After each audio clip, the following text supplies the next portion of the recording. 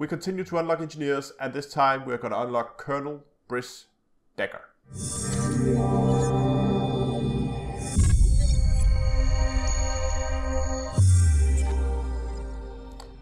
We once again unlock more engineers, and this time we're going to look at the Colonel.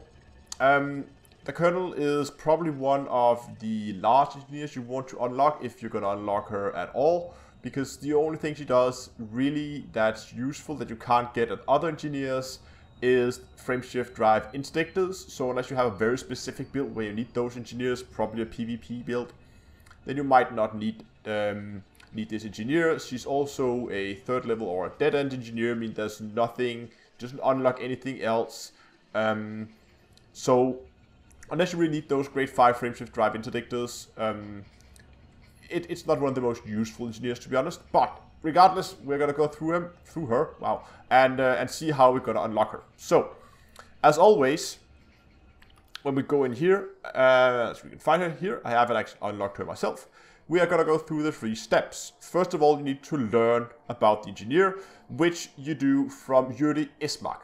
Already done a video on Juri, so click in the more info icon to see that video to um, to unlock him and to get the knowledge of the Colonel here.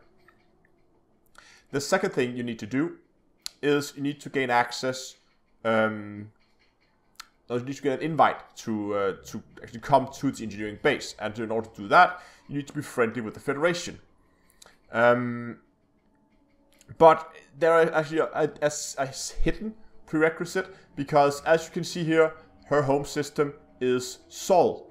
So you need a permit to Sol because there's of course a permit lock on, uh, on Sol. So to do that, you need to get to um, to petty officer, which is the fourth rank in the um, in the Federation. But we're gonna go over that in a little bit. I just want to go over the last step here they need, and that is to provide one million credit worth of combat bonds. And this might uh, change depending on the system state. I think sometimes this will only be a hundred thousand, but in my case here, it is a million combat bonds, and we're also gonna go over that. And then finally, we're going to look at how you can actually level up the engineer, what I find to be the easiest way to do that. But before we do that, let's start by heading out and looking at how you can get friendly with the Federation and also get that Sol permit.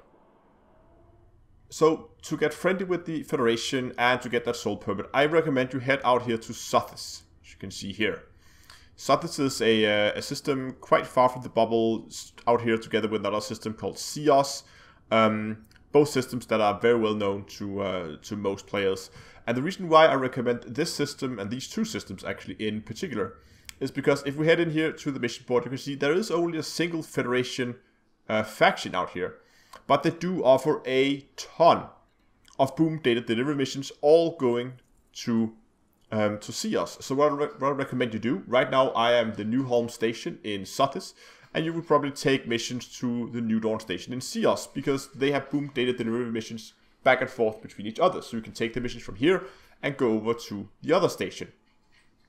Now, I think I recommend, while you are out here anyway, there is this guy from Sirius Corporation. I highly recommend that you take some of the data missions for, for them and also do the donation missions when they are available if you haven't unlocked Marco Qwent yet. Because Marco Qwent is another engineer. He is notoriously hard to unlock. And one of the prerequisites is that you get allied with the Sirius Corporation, or at least friendly, I can't remember, but at least you get need to have a good standing with the Sirius Corporation so you can get access to um, to Sirius. So also running submissions from these for these guys will help you later on if you're unlocking Marco Qwent. If you have unlocked Marco Qwent already, you don't need to take missions. You can go to another system. I would probably still go out here because of the absolutely insane amount of boom data delivery missions. Um, of course, this can vary from uh, system state to system state. So sometimes you might not see as many. It can be a little difficult to get started. Maybe if you have a low um, low reputation when you start try it out, um, and eventually you will get there. You can keep track of your uh, Federation rank out here. As you can see, I am currently friendly with them. Um, it will diminish over time, so but it will settle in at around 74 or 75%. Um, your rank, you can also see here, I'm currently Admiral. Um, if you get stuck, most people get confused with this at the start if you're new to the game.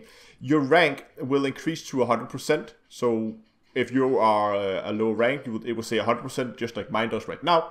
And it will it will stop there. That's because you need a rank up mission, which we call something like Federal Navy Ascension or Federal Navy something something mission.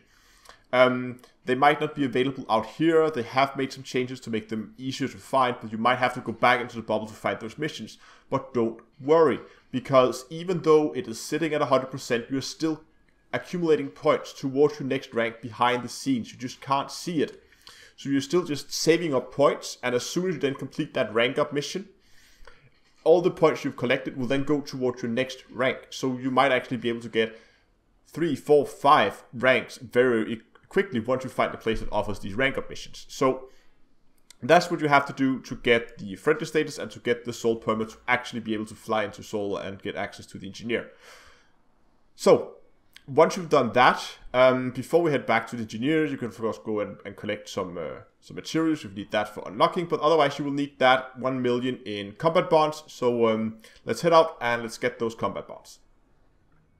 So in order to get your combat bonds, what you're going to do is you're going to first come into the galaxy map. We're going to go over here to the second to last tab. We're going to make sure that we show the stars by state.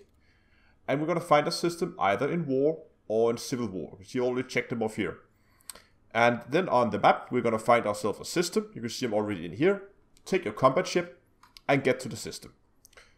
Once you're in system, you're going to navigate to your navigation panel and you're going to look for these conflict zones Go for low intensity if you're not that experienced in combat.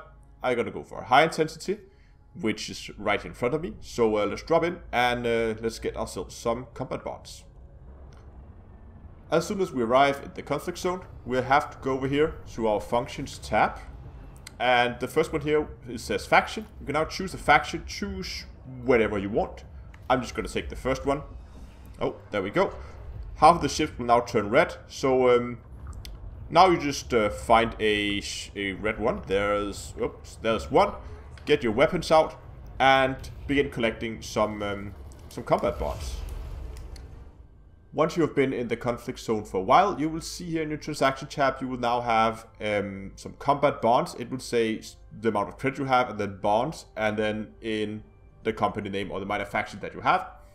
Um, Note, these are for power play. Just make sure you note that it's the right one. These are normal bounties that you gather in um, in, um, in high-res sites. So these are, when they say bounties, those are not the right ones. They need to say bond. Um, so once you have at least a million credits, you are ready and we can now fly back to the engineer. And back at the engineer, we now have all our um, our combat bonds that we need, and we have the permit, we have everything. We can now go in here to the engineering shop, and over here we will have a box that we can actually donate our combat bonds, and yes, we will donate all of it. There we go, which pretty much unlocks, and you can see here stuff doesn't really uh, unlock properly, so we have to relog and get back in in order to get all the facilities properly unlocked.